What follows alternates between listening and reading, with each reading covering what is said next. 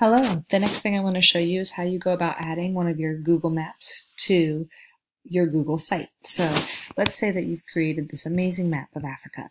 Obviously, I would not get a very good grade on this project since I have one point and it's Africa and I have no picture or summary to go with it. That is not the point though. My point today is to help you know how to share your map. So when you're ready to share your map, you're going to, um, it's going to tell you you have to have a title for it and, um, a per and a short description. So create that.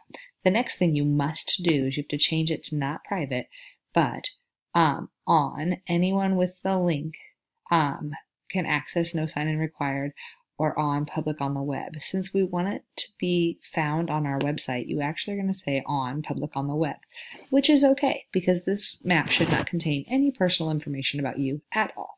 So, and we just want them to be able to view it. You do not need to change that to edit. So once you have that, you say save. And this is now the link that you need to use to share. Very simple. Now adding your map is sim as simple as going to embed and you can say command paste and you can insert the map that you've created.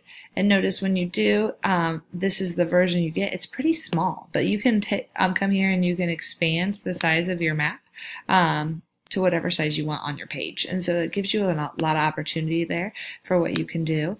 Um, and then also notice that you can view it in a new tab. So that is wonderful. Okay.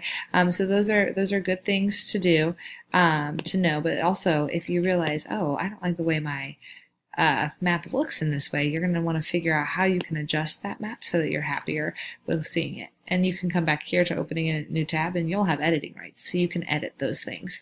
Um, so the other way that you can insert a map into it, just so you know, is you can come down here all the way to maps and you can go right away to my maps and it turns out the McMap is on there. Now remember, many of you have already made maps. If you don't remember how to do so, um, there were how-to instructions for that map making assignment and you're welcome to view back uh, to that at any time. But yes, that's the other way you can go about inserting your map into your Google um, site. So good luck, and I look forward to seeing what you're able to create.